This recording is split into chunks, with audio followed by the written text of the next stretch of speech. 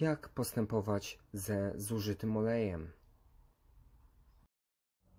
Jeżeli olej jest czysty i przejrzysty, a także klarowny, to wtedy... Cześć, ja jestem Marcin Kryński z wyzwania Dzień za funta. Chciałem Wam pokazać, co możecie zrobić z, e, z olejem, ze zużytym olejem, to jest pierwsza sprawa, ale też generalnie z każdym olejem. E, co zamierzam zrobić? Ja ten olej przeleję do tego pojemnika. Dlaczego? Ponieważ chcę go użyć ponownie. To jest pierwsza sprawa, czyli chcę, chcę zaoszczędzić ten olej, który został wykorzystany raptem raz do zrobienia frytek. E, został też wykorzystany do e, upieczenia dwóch kiełbasek. Pierwsza podstawowa sprawa, dlaczego chcę go zaoszczędzić? Ponieważ moje wyzwanie dzień za funta jest wyzwaniem, które mm, siłą rzeczy, niech ten olej sobie kapie, siłą rzeczy e, zmusza mnie do tego, abym oszczędzał środki finansowe. Jest to olej, który kupiłem kilka dni temu, kilka dni temu, chyba 3 dni temu, czy 4 dni temu. Macie to na YouTubie.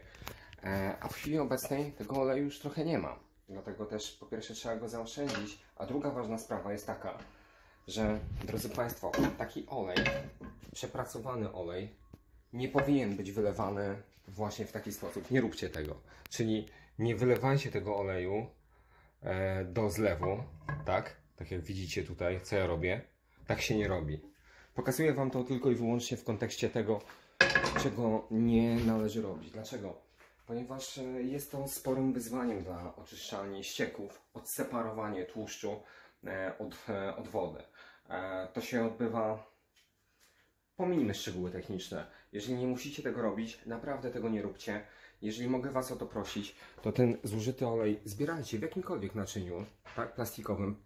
E, olej nie rozpuszcza plastiku, więc nie ma się co bać. To może być zwykła plastikowa butelka, czy to po oleju, e, czy to e, po napoju, nawet po takim płynie do, do mycia naczyń. I pamiętajcie, w Wielkiej Brytanii jest obowiązek recyklingu zużytego oleju, i możecie pójść do każdego sklepu, e, do każdego sklepu, do każdego punktu mm, fish and chips, tak, smażalni frytek i ryby, czy też do restauracji i powiedzieć, że macie zużyty olej i chcecie go oddać. Co się stanie?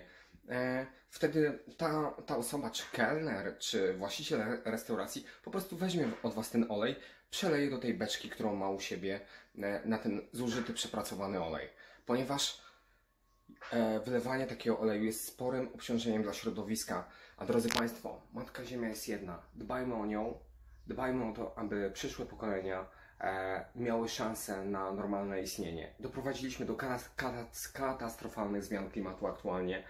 E, globalne temperatury ulegają podniesieniu na niespotykany poziom. Ginie rafa koralowa w wielu rejonach świata. Klimat się zmienia. Jest to przykry efekt naszej działalności. Dlatego starajmy się dbać o środowisko. Pozdrawiam Was serdecznie. Mówił Marcin Kryński z kanału Dzień za Funta. Trzymajcie się, wszystkiego dobrego. Hej!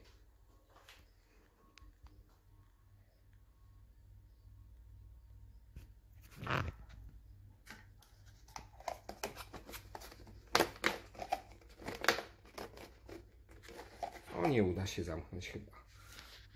Przynajmniej nie jedną ręką.